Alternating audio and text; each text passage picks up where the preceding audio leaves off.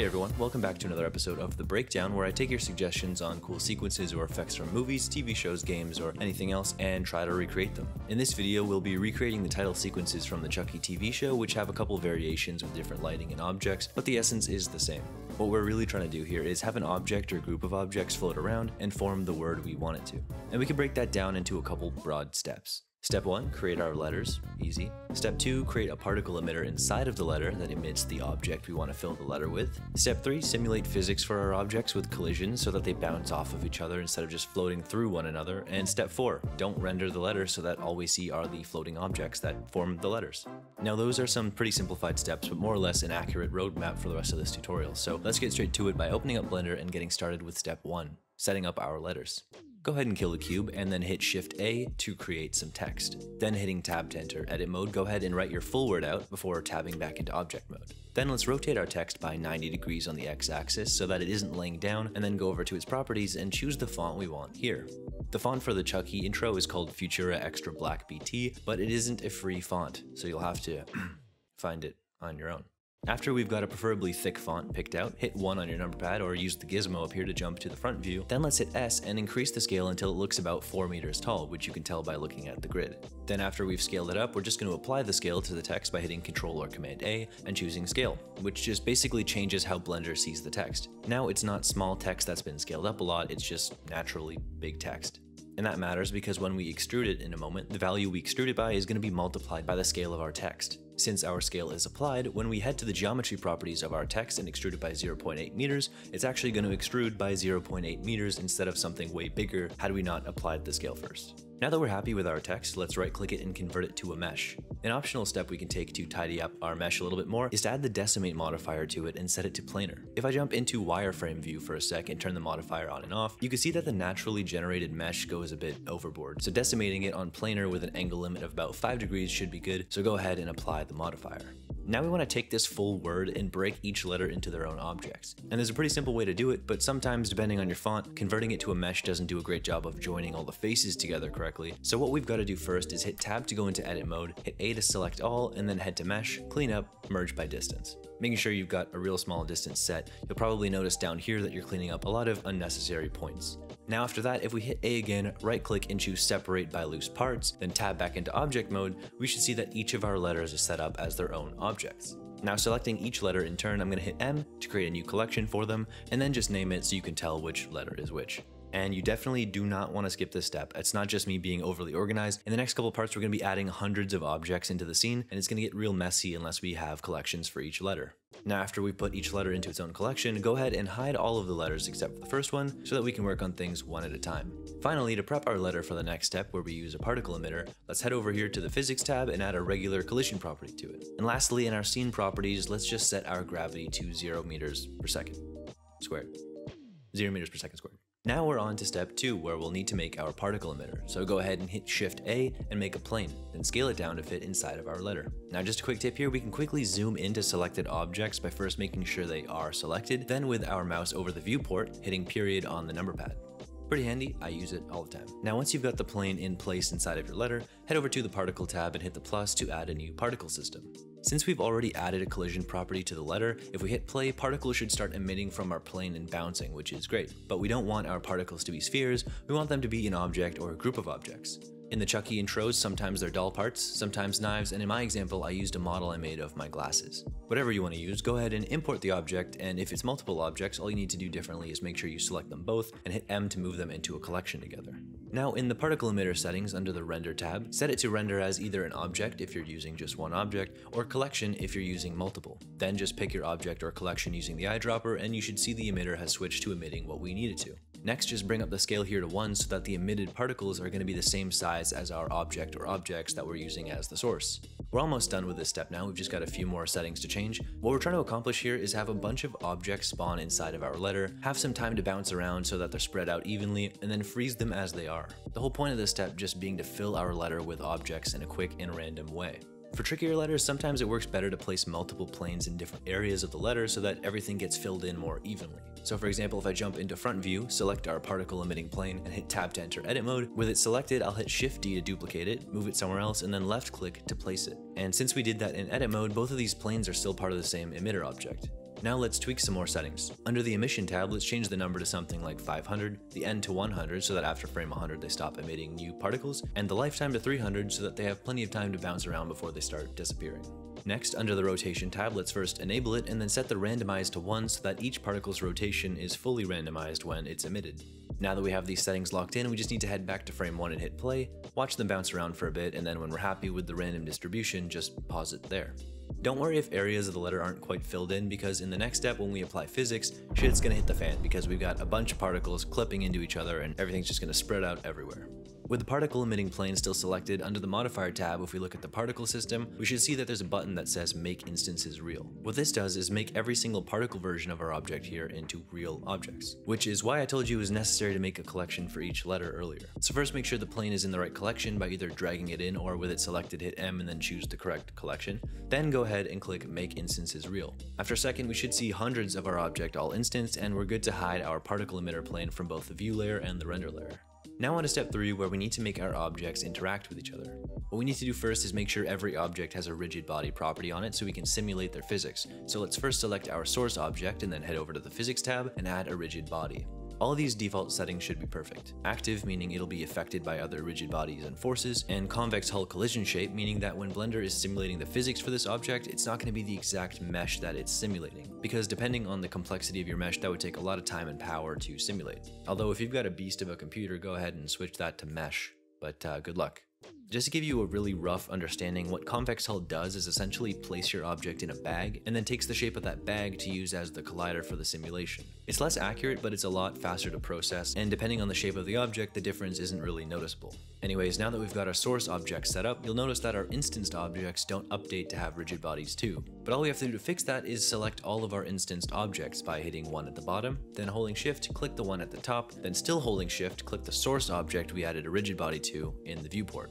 If you did this right, you should notice that all the instance objects are selected the same color, but the source object is a slightly different color, meaning that it's the active object. Then just go to Object, Rigid Body, Copy from Active, and all of our instance objects should have the same rigid body settings as our active one. The last things we need to do physics-wise here are make the letter into a rigid body collider so that our objects are actually contained inside of it, and add a turbulence force which is just basically going to churn our objects around a little bit and add some motion to them. First, let's select the letter, remove its regular collision, which doesn't work with rigid bodies, and add a rigid body to it, but set it to passive, which basically just makes it act as a collider for rigid bodies. Finally, make sure the letter's collision is set to mesh, since we need this collider to be accurate because it'll be containing all of our objects and forcing them to stay in the shape of the letter. To create the turbulent force, just hit Shift A like usual, head to Force Field and choose Turbulence. I found that setting the strength and noise amount both to 10 and then just slowly animating the position of the turbulence did the trick just fine. And now if we head to frame 1 and hit play, everything should just explode into a total mess because like I said earlier, we've got a ton of objects clipping into each other and now that we have proper physics enabled, they're just going to explode and pop out of each other. The solution to this uh, little problem is to play a game called Delete a bunch of them and then run the simulation again. It's a really fun game, so fun fact that you'll have to play it probably 5 to 10 times. So just head to frame 1, hit play, and then after a little bit, pause the simulation, select a bunch of the objects while holding shift, and then just hit X to delete them. Then head back to frame 1, hit play again to recalculate the simulation, and we'll be just repeating the process until we have the explosion of objects under control. Once we get there, what we want to do is let the simulation run for a second so that everything seems calm, and then freeze everything where they are and essentially reset the rigid body simulation, with the goal being that on frame 1, they'll all be positioned positioned as they are right now in a calm state. So after running the simulation, once you've paused it at a nice calm frame, select all the objects like we did last time, head over to Object, Rigid Body, and Bake to Keyframes. Make sure the start and end keyframe are both set to the keyframe you've paused it at and hit OK. Then with all of them still selected and the keyframe selected as well, make sure your mouse is over the timeline and hit X to delete it. Now we have no physics applied to these objects and they're all just frozen as they are right now. So if we again select all of the instance objects, hold shift and select our source object in the viewport so that it's the active selection, and once again we're just going to copy the rigid body from active. And now we can finally head back to frame 1 and rerun the simulation where everything should be calm and reacting to each other nicely from the jump, with a little bit of turbulence. For step 4, we're just hiding our letter from the render so that all we see are our objects filling the letter up. Of course, that's just one letter, and I'm gonna go out on a limb here and guess that if you're trying to do this effect, your word is gonna be more than a letter. But after you repeat the process a couple more times, it's honestly pretty fast to just finish off the rest of the letters. After I finished making the whole word, I pretty much just animated the camera's position and rotation to end with the full word in view and then start really tight on one of the letters. Then I just played with the camera's motion path in the graph editor to make it start slow and pick up speed as it dollied back, and finally added some lights. For my glasses example, I placed a sunlight hitting it from the top to act as my key light, and another less bright one from the back right to act as my backlight, which is just there to pop it out a bit from the background. After rendering it out in Eevee, because I don't have a computer powerful enough to get the results I want in cycles, I brought it into After Effects for some final touches. One thing that actually helped a bunch with the After Effects work was installing the After Effects Camera Export plugin, so I could export Blender's camera motion to an After Effects camera, which basically just allowed me to drop in the of edits text in After Effects and have it match the correct motion fairly easily. To install it, you can just download the file in the description, then in Blender you can go to Edit Preferences Add-ons, click Install, find where you downloaded it, and then double click it. Then making sure you've got it enabled, you should be able to select your camera, head over to Export and export the camera just like that. Now finally in After Effects, in a new project, I just imported the image sequence we rendered from Blender, making sure to right click and interpret the footage to the correct frame rate I rendered it out in. Then I went to File, Scripts, Run Script File, and chose the saved Blender camera data. And this is great because it creates a new comp for us with a matched camera already inside of it. Then I brought the rendered image sequence in, created some text for my subheading, and right away pre-composed it making sure to move all attributes. This way we're free to work on its dissolving in transition in an isolated comp without worrying about it affecting anything else. Still in the main comp, I made the subheading layer 3D and rotated it and positioned it where I thought it should sit under the main title. Now inside of the subheadings comp, I just added the roughen edges effect to the text and animated the border from something high down to zero to have the text fade in. Then I selected the keyframes and hit F9 to ease them, and then played with their speed graph a little bit to make the dissolve more interesting. Now back in the main comp, I just slid the subheading layer over in the timeline to appear at the right time, and then it's all sorted. For the background, I wanted to create this subtle radial gradient from above because that's the direction the key light is shining from. So I created a new solid layer, made it 3D, rotated it to face the camera, and then added the gradient ramp effect. I set it to radial and then made the A color a warm, dark, orangey yellow. Funnily enough, actually, if you look up the hex code, that's what it's, it's called. Uh, and then I made the B color a yellow toned off black. After that, I just positioned the centers to get the gentle gradient I was after. I also wanted to add some smoke elements to the background to make it more interesting, so I grabbed a few from a footage pack I had, but that was just because I was feeling lazy. And if you happen to be less lazy, I go over how to make some pretty good looking smoke all inside of After Effects in my fog tutorial that you can check out later if you want. I layered a few smokes at different opacities and then just pretty much moved on to creating the master adjustment layer.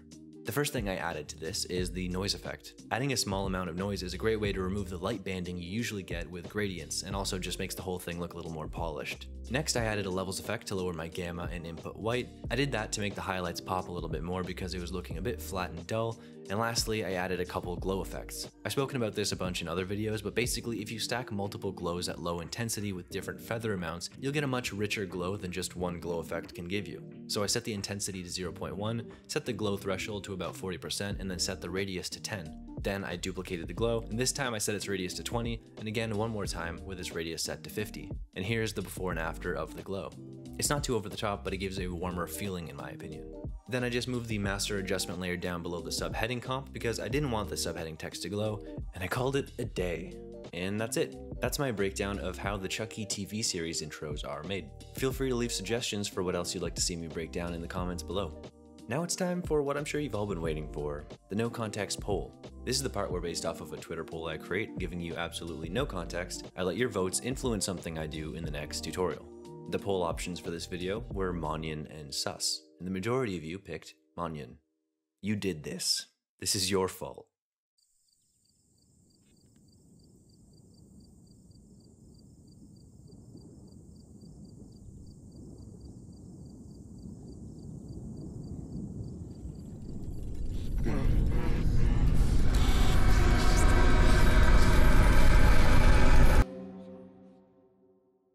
Very good. If you want to participate in next video's no context poll, be sure to follow me on Twitter and turn on notifications so you don't miss out. Links in the description. Now, let me take a second to thank this video sponsor, Skillshare. If you weren't aware, Skillshare is an online learning community with thousands of classes for creators. They've got a ton of topics you can explore, but the ones that I'm personally drawn to are film and video, productivity, and creative writing. A class that I watched recently that I think you might enjoy is Cinematography Basics Understanding Filmmaking Style by Zach Mulligan. He goes over tactics for manipulating mood, tone, and feel, and organizing shot lists so that you can get a handle on your shoot and not miss out on anything important. If any of that sounds good to you, then give this course and Skillshare a go. Skillshare is curated specifically for learning, so you don't have to worry about ads, and they're constantly launching new premium classes for members so you can stay focused and follow where your creativity takes you. If you're interested in joining, the first thousand of my subscribers to click the link in the description will get a one month free trial of Skillshare so you can start exploring your creativity today. Thanks, Skillshare.